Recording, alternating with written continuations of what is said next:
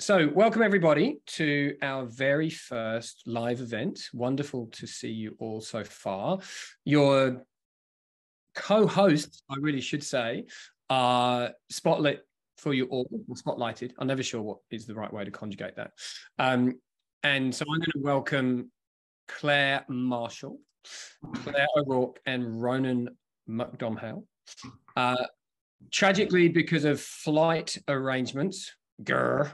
Uh, ben Bowen is unable to join us today. He is right now in the air on his way up to Darwin, heading to Garma, uh, which for any of you that aren't aware is the largest gathering of um, Aboriginal First Nations and First Nations advocacy groups in Australia. Ben was supposed to be flying out this afternoon. He's in the air right now.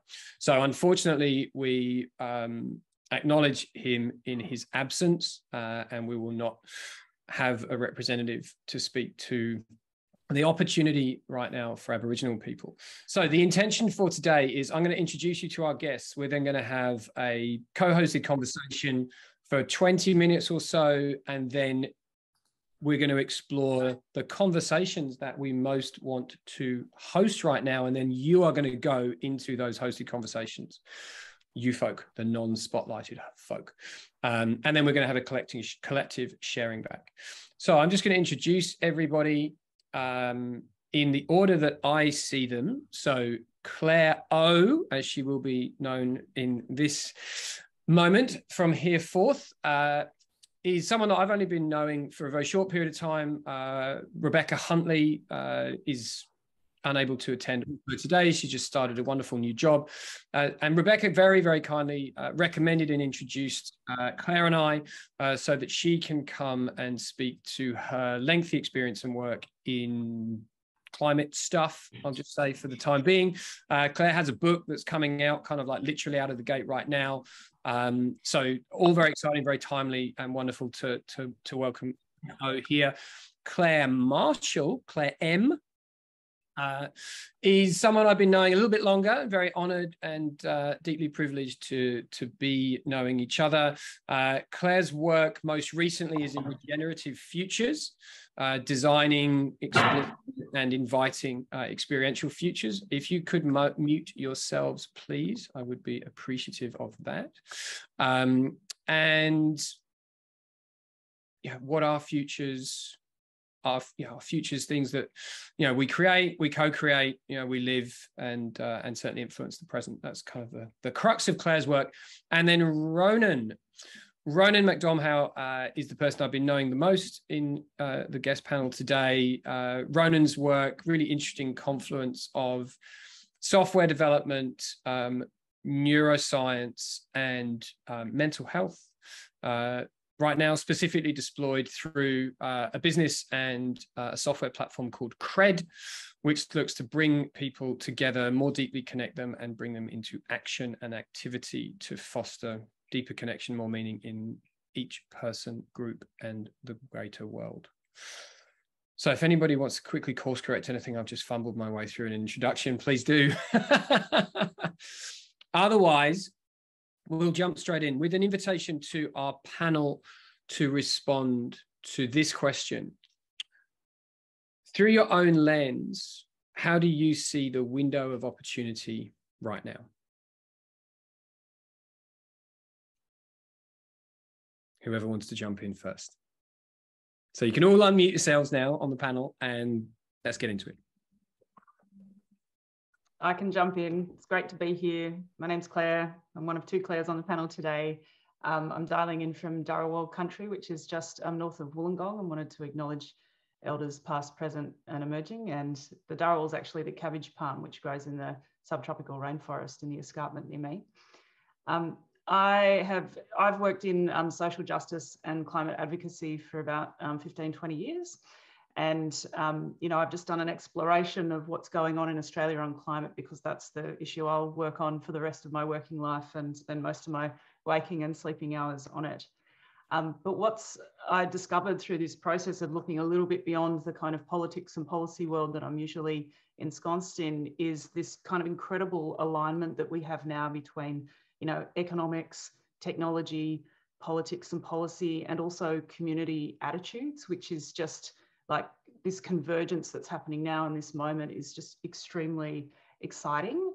Um, you know, in terms of technology and economics, you know, we've we've got a lot going for us, but I think we kind of forget how how much how far we've come. Like we underestimate what we can achieve. So, you know, looking at the International Energy Agency, they predicted that solar average solar prices would be five cents a kilowatt hour by 2050, but it happened in six years. And it's now cheaper for countries to switch from coal-fired um, generation to renewables than it is to swap from coal to gas as a bridge to renewables. So that's several studies are, are bringing those that knowledge to light. So we've got this kind of beautiful kind of coalescence of technology and economics. In terms of politics in this country, we've had a you know incredible reset moment, and you know the 43% target is now you know set with the UN, and we've got legislation before the Parliament. But the really interesting alignments around community, because I did a study back in 2020, a market research study that showed that about one quarter of Australians aged between um, 16 and 75 are really worried about climate change. We so much so that that segment we called them the alarmed, and that's about that's five million Australians are, are really concerned, and so we've seen that reflected obviously in the recent um, federal election, but it's also we a bunch of work that we did through that study showed some really interesting insights about the behaviour that people are engaged in that we could talk about perhaps later in this conversation. I think people are waiting for invitations and also need some confidence to be able to step into to climate action. So it's just a beautiful convergence at this moment in time, which is, um, yeah, I'm, I'm hoping we can dig into a little bit more today. Yeah, thanks, Claire. I love that. I'd actually really love to hear Ronan's thoughts on accepting invitations because I know that this has been so important in in your work. Thanks, um, Tim, and thanks for sharing, Claire. And I've had a, a, quick look at your book, and I think it's perfect timing. And congratulations on on writing a book and, and putting it out there. Uh, so I'm looking at this through the lens of, as, as Tim said, um, mental health. So helping people look after themselves and helping people look after others and the planet. So through the lens of the United Nations Sustainable Development Goals. And to Claire's point there, uh, I think there's it's an exciting time. Um, I think people are seeking and needing a new way of being. And I, I strongly believe that the systems and, and the processes that worked for us in the past, they serve us to a point, but we need something different now. I think there's a need and a gap for courageous leadership for in terms of organizations, leaders and organizations, and, and self leadership as well. And I think we need to make it as easy as possible for people to access these things. Like, what can I do to impact climate action? Not leaving it to someone else because we're all pointing fingers and waiting for someone else to do things. Nothing's going to happen or change. So I think to summarize, um, it's it's an exciting time. It's there's a need, um, and we just need courage to take next steps. Beautiful. Thank you, Ronan. Um, Claire M., you've been pensively poised, waiting. I have, and I think I I love the positivity and everything. And I want to take slightly a different tack, but I'll get to the positive side as well, which is that so I've been living up in the Northern Rivers, and I think what we've seen. So from from my work, I specialize in experiential futures. So the the future is so difficult and uncertain that um, it can be hard for us to really contemplate seriously. So sometimes when you can create real experiences of what a future might be like, it allows us to make kind of better decisions. And we've had these experiences of what the future and the climate change is like. We've had these devastating bushfires and then the floods. Um, you know, poor Lismore was flooded twice epically and the community that that um, that I was living in, you know, really came together we saw a lot of courageous leadership, not necessarily from the usual sources, but from people just going, I'm going to step up and I'm going to go and help people in my community.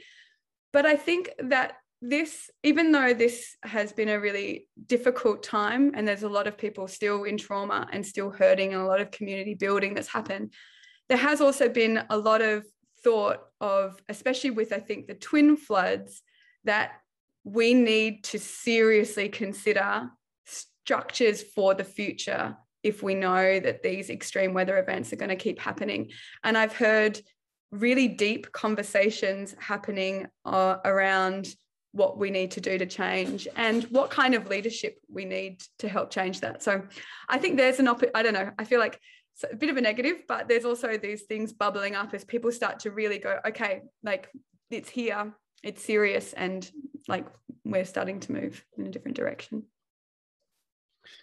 Thank you. Um, I might just build on on all of that and say that the big shift that I'm sort of sensing a rising awareness of is a need to address our culture and at the level of like what is our purpose as a nation? Um arguably what is our purpose as a species but i think certainly i would really love to see an open dialogue about what is australia's purpose and what are australian values right now and and how do they connect to know, what's needed at the local level uh, you know how do how does that bring community um, you know to life? And and how does that drive institutions systems structures and enterprises all in a convergent direction? Um, and you know, i was in conversation with a group in melbourne yesterday and kind of like planted something with someone who was speaking very passionately about the need to reduce emissions and the need to deal with all this stuff. And I kind of just kind of sat there with them for a little bit and, and then said, well, okay, um, yes, yes, yes. And climate change is a symptom, right? It's not the disease. so there's there's a there's a lot of causation that that we need to sort of address and speak to as well here. And I think that really plays into what everyone has said so far, but to me most significantly, Ronan, you know, this this sort of realization that you know there's a there's a need um, in each of us that that we need to address more fully um, as we as we go in with this work. Um, so about the halfway point in this conversation right now. Um, I can sense some emergent themes already, but I'm gonna I'm gonna hold them nested just in myself for the moment. Um, who'd like to pick up the thread next? Sensing a lot of energy in you, Claire O. Yeah. I'm just um it's just everything that we've been talking about is just really coming together for me in one of the stories um, that I managed to capture in the book. And it's the community of Cobargo, which is, you know, down the south coast of New South Wales. Um, you might remember that community for folks who aren't from Australia. Cobargo hit the national headlines um, during the Black Summer fires because our Prime Minister went down there and was not well received by the community. Um, but what was more interesting, this community of about you know 800 people, the town centre was decimated by the fires. Um, the community was really in crisis. Um, and there was a wonderful person called Deborah Summer who is schooled in something called the art of hosting, which is essentially kind of well facilitated group conversations. It's um, you know, a global network of practice, community of practice. And she pulled together what they called the Cobargo community catch-ups and they started hosting in-person catch-ups when anyone would come. The first one had 100 people turn up, and it was just around creating well-facilitated time and space for people to reconnect, heal, and then mm. quite quickly started creating new possibilities. It unleashed a plethora of kind of this kind of organic growth of projects and helped leverage, you know, community fundraising efforts that brought in millions of dollars to help rebuild the town centre, many with cooperative owned ventures, like most of the rebuild is going to be cooperative run. Um, they've got a tool library now, they've created art and creative projects.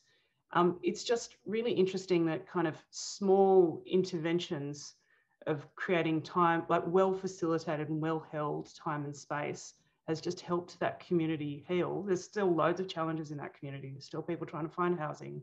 There's still, there's been a lot of um, enormous mental health impacts, as you can imagine but it's just this kind of beautiful planting seeds and allowing for reconnection and healing is like a, a form of leadership I think we can um, really reflect on and capture and look at how you can grow that. It's just it's just a beautiful story of how small interventions can create really outsized impacts when you kind of don't know where those pathways will lead.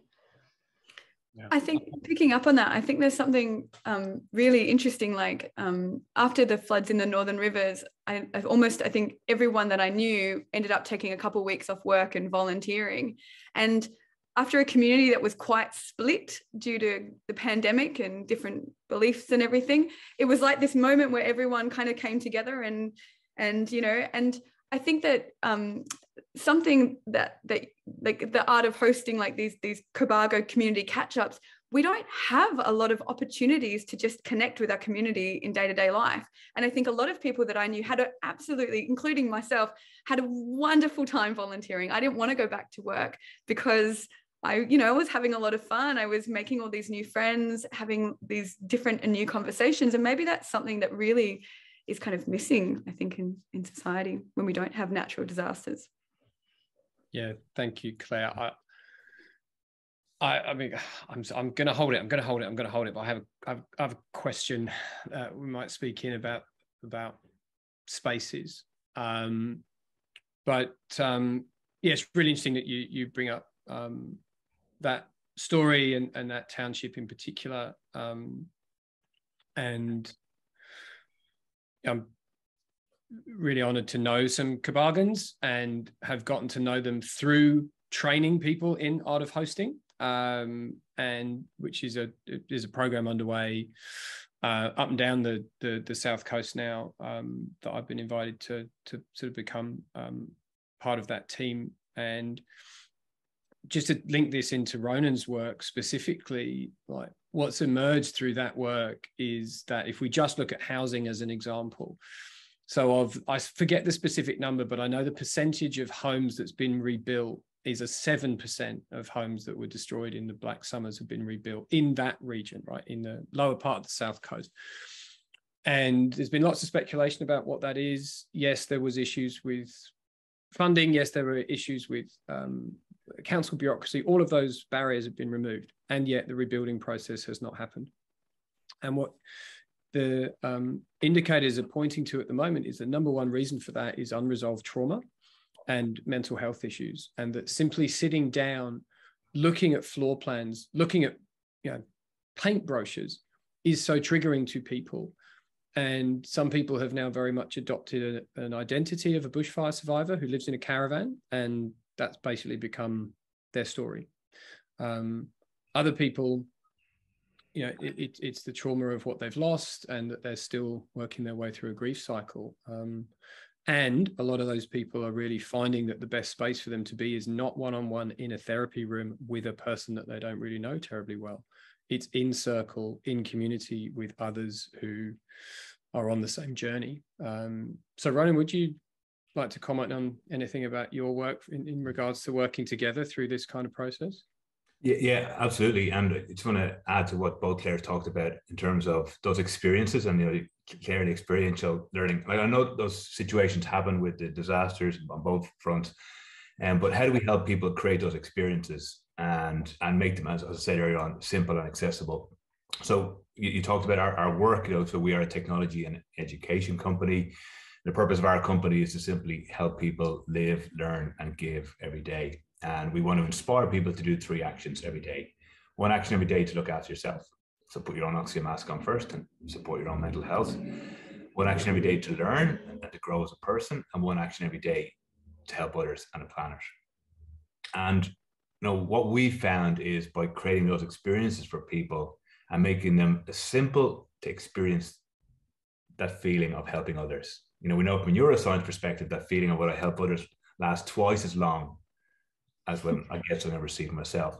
So how do we, through communities, through organizations, help people help others? Because you know, cred comes from the Irish word for, for believe. We're a beliefs-driven organization, and, and we firmly believe that the more we help each other, the more we help ourselves. And we, we talked about at the start around the traditional models of, of success and I think this time in the last couple of years has got us really good questioning and resetting, and, and people are evalu- evaluating their lives and going, I trusted in this process and I thought it was going to bring me happiness, but has it really like is it all about like wealth accumulation or like being on this preordained escalator of life? And I think people are so go back to people are seeking and needing something different. So how do we in our roles as community leaders or leaders of organizations, and go back to this courageous leadership? How do we inspire and help others to help others?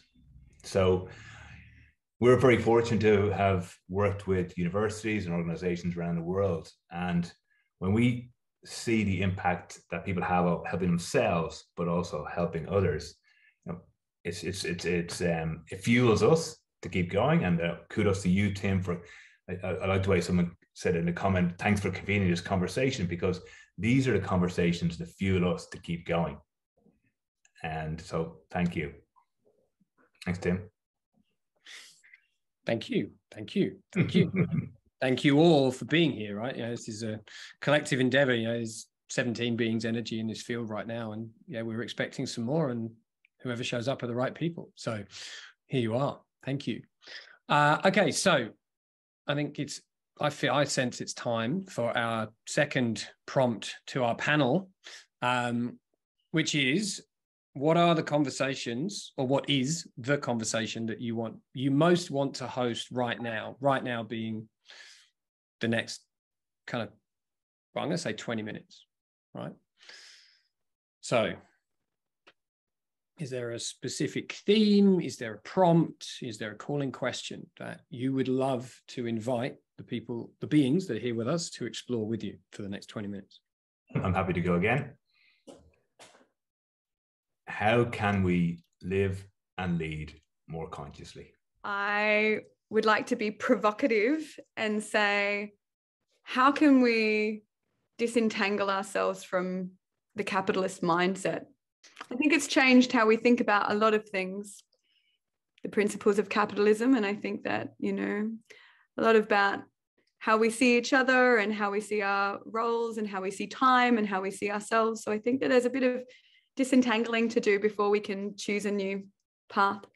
Mine's probably a bit of a leadership question around how do we kind of claim our agency in um, working on climate change and how do we um, do that through our networks? Because when you're thinking in systems, you're thinking about how you can create leverage within systems. So, and you know, given the way our society is structured, there will be folks who have more influence in that system, and there'll be others who have less. But I'm kind of interested in how we create outsized impact through kind of leveraging our networks. But key to that is claiming our agency and you know stepping into the space with confidence. Welcome, welcome, welcome back. I'm actually singing on recording. There you go. Welcome back. Maybe we need to have a collective vocal expression. Um, okay, so we'll just wait for everybody to, to jump back in. Hopefully there'll be a couple of moments. Well, they've actually only got 16 seconds before they're forcibly well, we were good. We we did what we were. You did. You did. Thank you. Thank you. Thank you. Um, not long enough. They never are. They never are. They never are. I hope that was sufficient. I hope some of you had have a have a sense of completeness um, in in the time that we have given ourselves permission to be together. Um, so let me just re-spotlight just in the, actually, no, maybe, maybe spotlighting's not required. I think we'll, we'll have enough of a sense of who's here. Okay, so whoever wants to jump in first, our three room conveners, what's the, what was the, the vital essence of the dialogue that emerged in your room? so first of all, I'm very grateful to been part of a wonderful conversation. Uh, people shared so beautifully, and uh, so energetically. So the first thing I would say is there is a energy um, in these communities, with an energy in our conversation. There's a curiosity. Like people are coming, not having all the answers, but a genuine curiosity to learn more. Um, won't name names, but someone talked about you know people coming together from the heart as well, which I thought was beautiful. We asked, you know, what does a what does a life and what does a life uh, led consciously look like? And one response was, does your life reflect your authentic self? And that, that really resonated with a lot of people. So uh, just, yeah, I think there's a huge opportunity. We talked about what's the window of opportunity. So I think just to reflect back to the first question you asked, Tim, there is an opportunity and people are seeking and needing and people want to be part of something bigger themselves to make real impact in the world. So thank you again for the opportunity to have this conversation, and thank you to the people who are part of our conversation. Well, I can I can go next if you like. Um, so we sort of we sort of started talking. We started kind of breaking capitalism down a little bit and kind of thinking about you know uh, is it capitalism or is it neoliberalism? And and guido shared some examples in germany where companies need to have stakeholders rather than shareholders.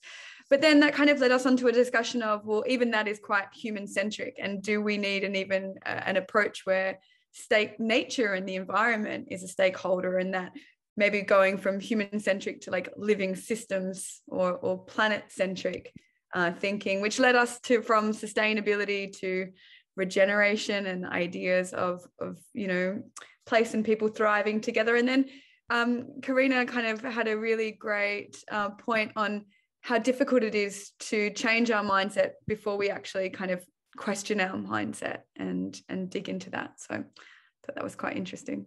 We got quite practical actually in our conversation around claiming agency with Timothy and Darren. So I think what we exposed, um, and certainly the research reflects this, that you know you need to adopt if we're going to allow people to step into their agency, we need to create kind of adaptive strategies that are quite specific to different groups and different individuals. So, you know, there's particular challenges that folks in our conversation had or particular opportunities around engaging different groups of people or individuals in accelerated um, climate action.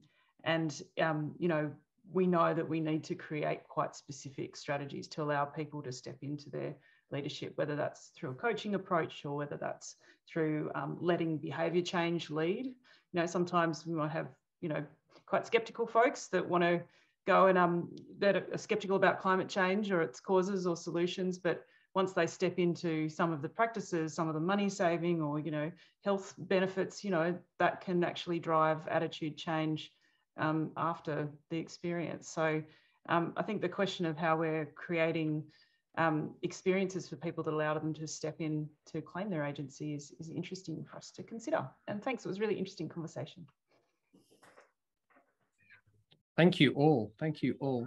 Um, yeah, I think it, so. For my, me, um, my observations, you know, just to yes, being part of and, and witnessing um, you know the first conversation and then watching the flow as you all decided where to go you know like here we have three fascinating questions and another one um, and the one which you know was sort of aired as you know kind of a bit edgy and you know maybe a bit controversial like that was actually where the majority of people wanted to go. Um, and i think there's another whole thing here in like giving ourselves permission to explore the taboo right? Um and i mean it was a shock to me.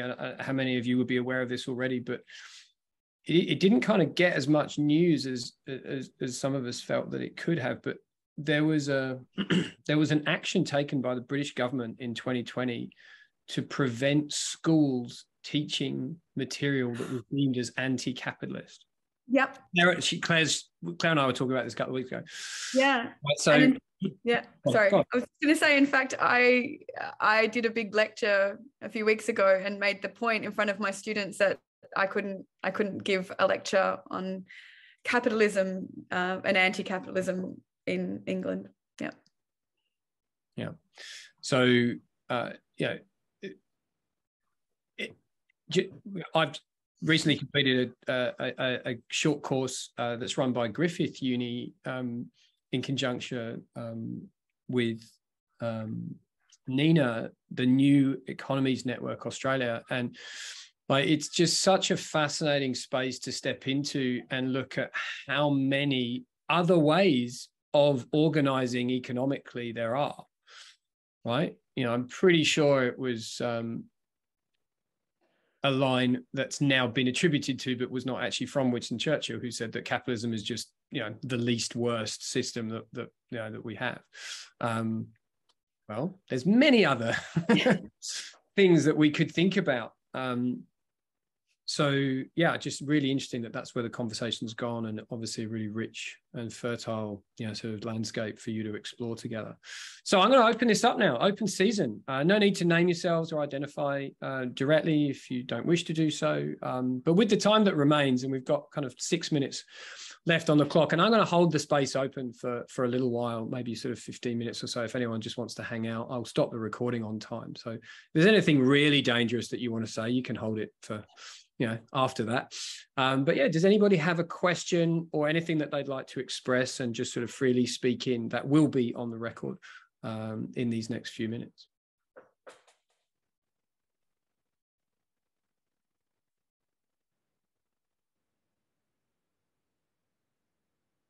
The um, kind of the, the frog principle or, or kind of this short-term thinking versus longer-term thinking coupled with kind of delayed gratification. Because I've been observing this for a while and, and maybe I'm convincing myself of the evidence that I keep seeing.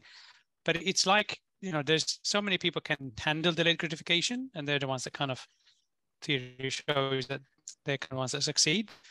But there's a lot of people who don't. So when we make choices between present, uh, current kind of gain versus future gain. Most people, a lot of people choose the, the current. So, how much of this issue that we're facing today is to do with convincing the larger part of the of society, I guess, that we need to make those sacrifices for the benefit of the future, which ultimately is good for everyone.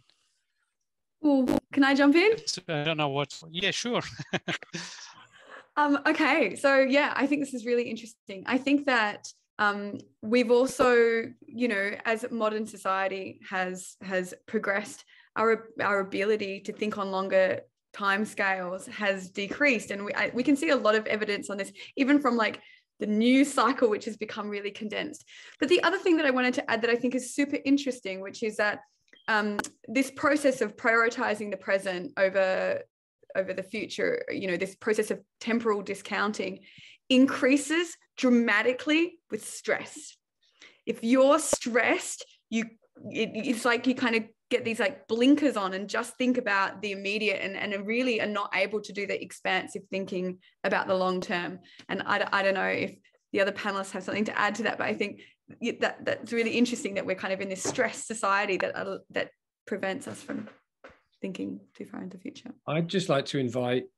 I think it's what. Thank you for the prompt Thank you for the response, Claire M. I'm going to invite Alan, who's got his hand up, uh, to jump in, and then Claire O. Okay, thank you. Um, yeah, I think uh, playing into that is is especially when we look at it um, from biases, human biases, loss aversion. If you give somebody something that would rather not have it taken away from them than actually get given it, and uh, even though it's the same thing. And so that makes it very difficult to go, oh, I might lose a little bit of my lifestyle for the long term because, oh no, I need it now. I need this, this fix on what I've already got used to. Um, and also the other side that, that plays into that is, and it's they're all related, it's just another perspective on it, is that fear. You know, it's okay we, we destroy the, the environment now we can see what's happening. We know that in 20 years time half the houses can't be insured. We know that everything but that's 20 years away. Yeah, we'll be fine. The fact that it'll cost us three times more because we've done it then doesn't matter. That's a long way away. I'm, i've done my job by now. I'm out. So it's a, it's a, it's, it's a safer bet to just look at now. Thanks alan. Claire o I think what ties into this is, um, you know, that stress. You know, I'm a former journalist, um, and the kind of accelerated pace of negative news is what dominates, is what I think news editors think we want to read about. And I think we have to be intentional to actually expose ourselves to more positive storytelling because it frees up our brains to think, you know, about what's possible there's a brilliant book by um, Robert Hopkins, who's um, from the UK and founder of the Transition Towns movement, and it's called From What Is to What If. And he talks about the most powerful word, pow most powerful word, word in the English language is the word imagine, because it unlocks our brain, it frees up our you know ability to see potential, it frees up our ability to be creative and to solve problems. And I think not only do we need to create the, you know, correct this negative um, bias in the news, but we kind of need to correct it in our own head and be intentional about trying to find that balance so we can actually see what's possible. And Brilliant. Thank you. I see another hand there as well, Rachel. Um, and can I just invite you to hold that just for one moment, purely out of timing? And I know that Claire O has to go. Thanks so much. it's been an awesome conversation. I really appreciate it. Thank you.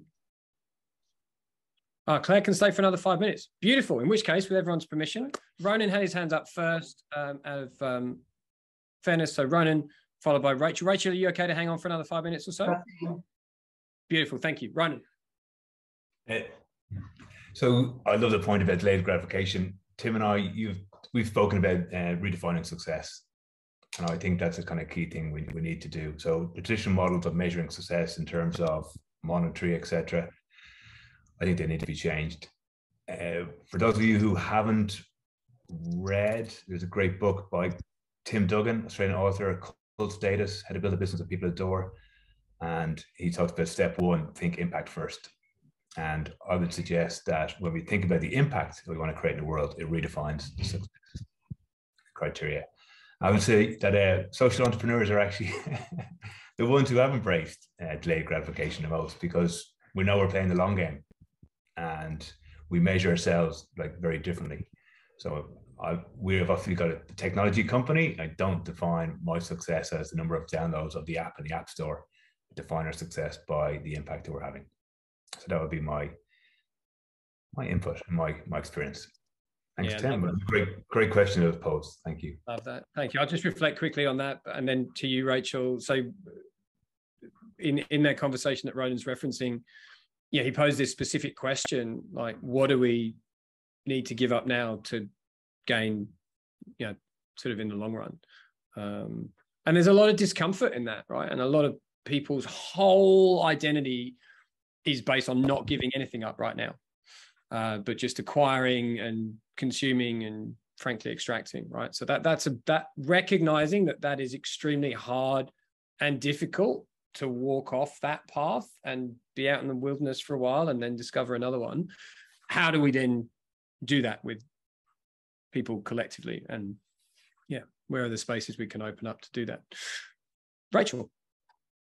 Yeah, I think um, you know the spaces to open up i think the more in practice um you know this is in all the great spiritual practices around the world morning practice is so key and what i've found is if i plug into that fear spectrum in the morning before i've actually taken time to kind of connect into something bigger i'm not talking about religion i'm talking about spirituality connect into something have some quiet time and set up what i need to do with intention in my day then it all goes wonky and I think that, you know, more people that are coming into those kind of practices. And then I was just thinking about whether there's a, a morning meditation practice that's specifically in this regenerative, regenerative leadership space that might be something really powerful to plug into in the morning before I start the day. I was going to look, see if anything like that exists. And, um, so, yeah.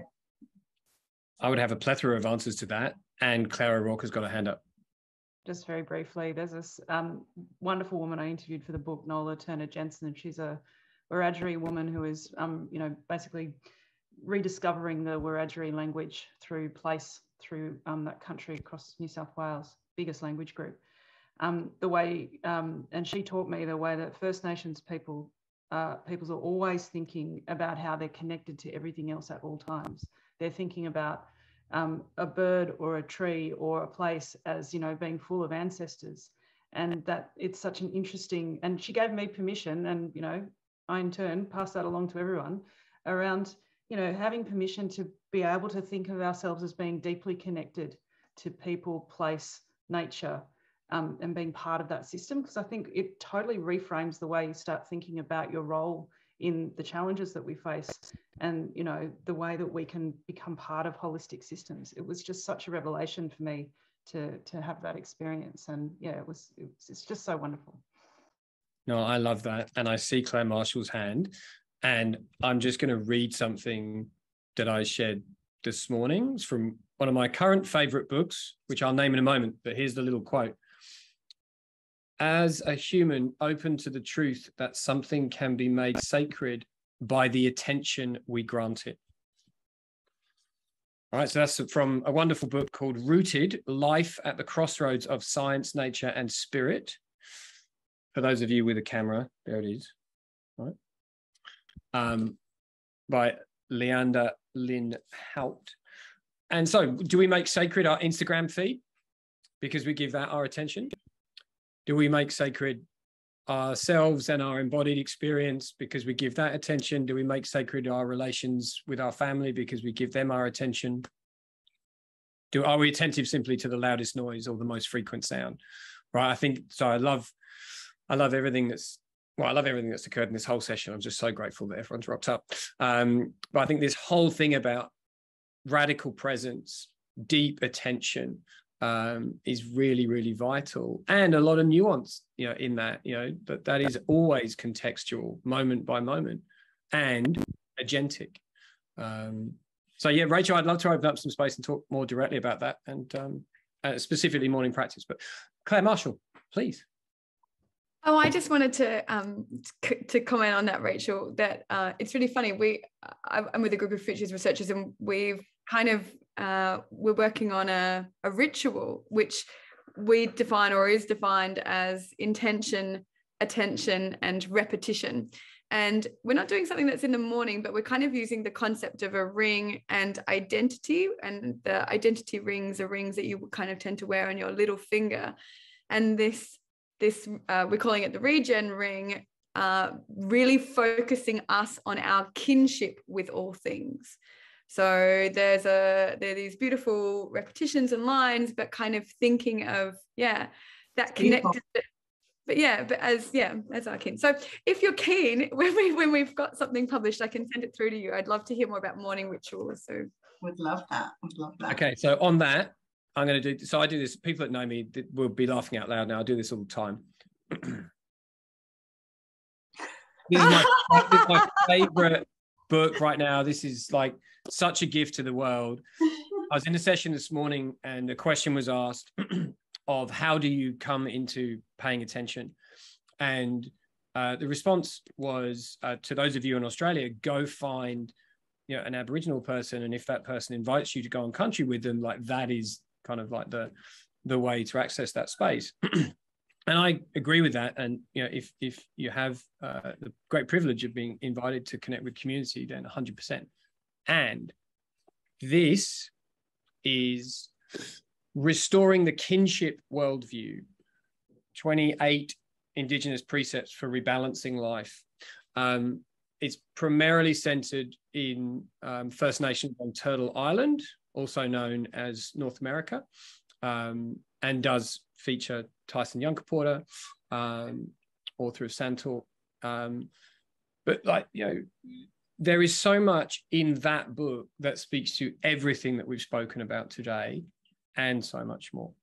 Um, so I highly, highly, highly recommend that. Um, yeah, just there we go many more things. Okay, I'm going to stop recording now. So everything that you've been holding that you don't want to, you know, sort of let the rest of the world know about, now you can bring it forth. Uh, so just before I do that, purely for you know, sort of uh, broadcasting, could I invite everybody that's willing to to just unmute and say whatever they want to say, just in a big kind of mass expression, including you, Claire Marshall. You can say goodbye right now. All right, she's gone. So whatever you want to say, say it now, and I'm going to turn the recording off, and then we can talk for a little bit longer if you'd like. I'm so happy I came today. Thank you. Thanks, Tim. Thanks for having us. Yeah, thank, thank, you. you. Very, really very grateful inspiring. to be part of it today. Thank you, Tim. And Thanks for organising, Tim. Thank you. It's beautiful.